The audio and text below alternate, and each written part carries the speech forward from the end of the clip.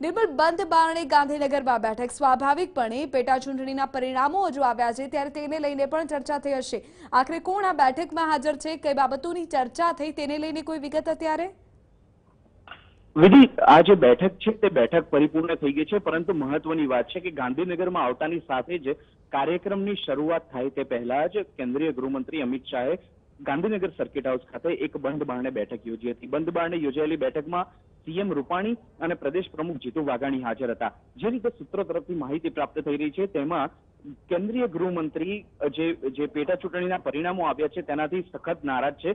કેમ કે સંગઠનમાં જે રીતે ઉથલપાથલ જોવા મળતી હતી, સંગઠનમાં આંતરિક ડખા જોવા મળતા હતા અને તેના જ કારણે ક્યાંક પરિણામો વિપરીત આવ્યા હોય તેવું તેમનું માનવું છે. અને આ જ કારણોસર તેમણે પ્રદેશ પ્રમુખ જીતુ વાઘાણી છે તેમને ખકડાવ્યા છે તેવી સૂત્રીય માહિતી પ્રાપ્ત થઈ રહી છે.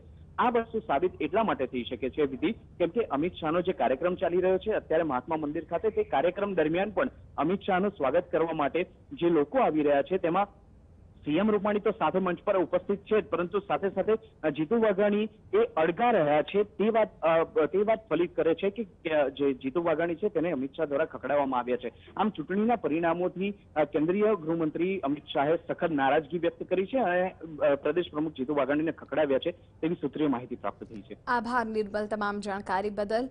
હજુ તો કાર્યક્રમની શરૂઆત થાય તે પહેલા જ ગૃહપ્રધાન અમિત શાહ દ્વારા આખરે આ તમામ બાબતોને લઈને સમીક્ષા કરવામાં આવી રહી છે અને સીધી એ સૂચના આપી દેવાય છે કે સંગઠન પર મજબૂત પકડ કરો.